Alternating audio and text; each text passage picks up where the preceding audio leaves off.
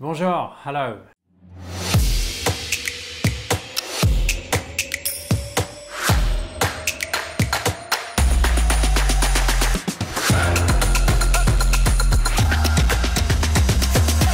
Today I'm going to answer a few questions about the buying process for an apartment in Paris. Uh, lots of different questions from various mm, clients, previous clients, and I wanted to try and outline uh, the process a little bit to, to help perhaps if, you're, if you've got a project of your own to purchase in Paris. In my opinion, it's not exploring enough. Paris is an extremely small city uh, 18 kilometers wide, 9 kilometers high. It's really not very big. You can do that walking uh, after a good lunch, of course, uh, in an afternoon. Obviously, prices are higher right in the center. So if you're looking for a bit more space, explore. Get out of the central neighborhoods, perhaps the 11th, the 10th, 15th on the left bank. Just go a little bit less central.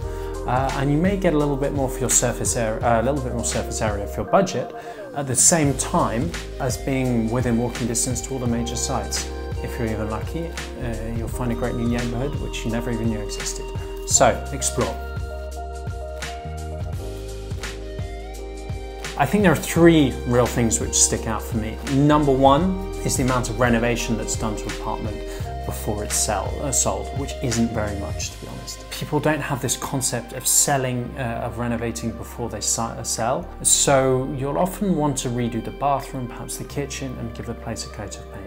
Number two is actually the difficulty in navigating the market. It's a very opaque market. Uh, there's no multiple listing service. Uh, so that means that the thousands of brokers that are in Paris, they are actually going to be listing in their own way uh, on different platforms. It's very hard to regroup the information. And the third, no overbidding. So this is a concept which is absolutely crazy uh, to a lot of buyers, uh, particularly in the States or in the UK. An asking price is an asking price inclusive of broker's fees. If a property is priced at 1 million euros, you can't go over it. Uh, so that's uh, a big difference there. Questioning it the whole time, what does the process look like and how long does it take? So we're going to assume that you've found an apartment, we've spent a few days, maybe a week together, we've found that perfect place, we've negotiated it, we've got the offer accepted. What happens next? Next we bring in the public notary, so it's a French official who will take care of the drawing up of the sale contracts, the equivalent of a lawyer. These sale contracts are split into two parts, and the first being the most important, which is called the reservation contract or the promesse de vente. Now the promesse de vente will generally take three to four weeks uh, for the notaries to pull up, draw together, getting the various bits of information from the building management company, the French uh, City Hall, Town Hall, sorry, and that'll take them about three to four weeks to put together before you can sign in person or remotely. And then from there you have a 10 day reflection period, cooling off if you like, which I've never seen used yet, uh, fingers crossed. But that means uh, you can withdraw from the purchase at any point. At the end of those 10 days, you're liable for a 10% deposit on the value of the property. So we're going to assume that you've got through that. Uh, what happens next? You have two to three months where the sale is registered and you have for getting your mortgage, uh, if you choose to take one, before you get the keys uh, and we celebrate together. So typically a three to five month process from finding the perfect place to getting the keys. Okay, let's talk numbers. So closing costs are typically 7 to 8% of the value of the property. This can vary because of the structure of the loan if you take one, but otherwise the main body is stamp duty, and registration fees. So that will be paid on your purchase, uh, 7 to 8%.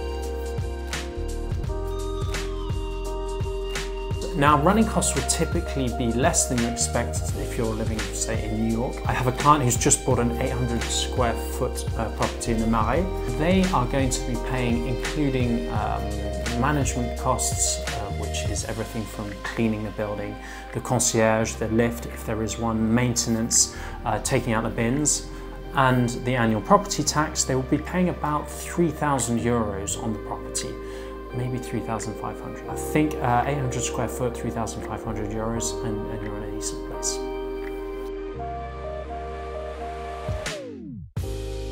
The sale price of an apartment is listed including the seller's brokerage fee. That will typically between, be between 2 and 5% and is negotiated between the seller and the broker. So the number you see is inclusive of sales brokerage fees. Now, if you're doing uh, it on your own, that is of course what you'll pay.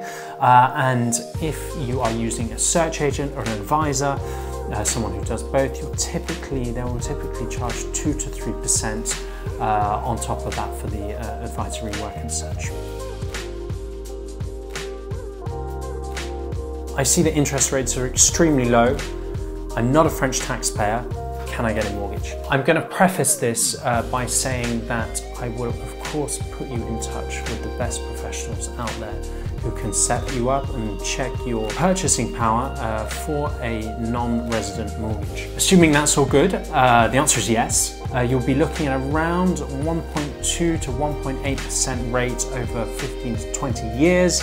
It's a fixed rate, so obviously super interesting especially if you had a lump sum of cash, which perhaps you can use somewhere else, and uh, you will put down about 30% on the deposit. So the answer is yes, the rates are terrific, and often actually I get um, clients who are buying in cash who end up taking out a mortgage and using the money better elsewhere. Uh, the answer is yes, especially today we have great professionals, English speakers, who will send you mood boards, samples, you do a lot over FaceTime, really like being there, follow the process, regular reporting, so that when you've got that free time to come over to Paris to enjoy the apartment, that's what you do.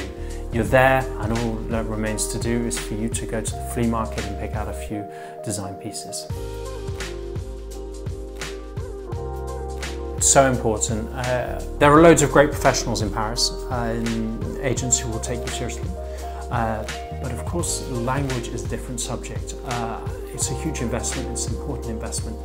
And so we're not only talking about the literal translation of things, making sure that every thought, every point, every drop, drop away comment uh, is taken into account, but also the cultural understandings, the expectations, why are things happening this way, how is it like this, and understanding what your reference points are as well uh, when it comes to translating the whole process.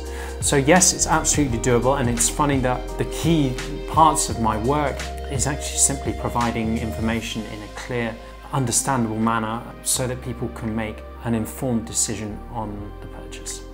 Thank you very much for watching the video. I hope you're enjoying the tours, the Q&As, uh, loads more to come there. So please little like, follow. There's more videos coming here and here. Enjoy.